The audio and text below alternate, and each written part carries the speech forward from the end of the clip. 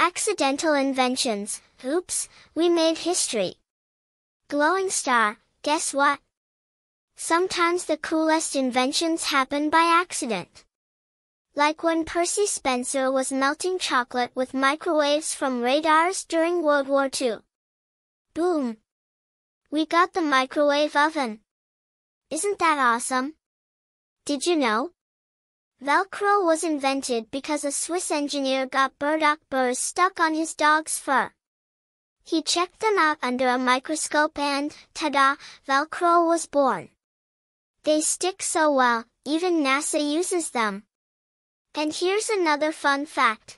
Penicillin, the stuff that fights infections, was discovered by accident.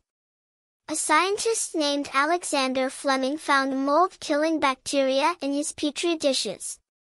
What a lucky find! The most mind-blowing one? Superglue was invented while trying to make clear plastic gun sights during World War II, but it was too sticky. Turns out, it was perfect for fixing broken things.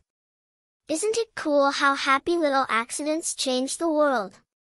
If you loved these stories, smash that like button and subscribe to see more cool stuff. Bye bye for now. Waving hand.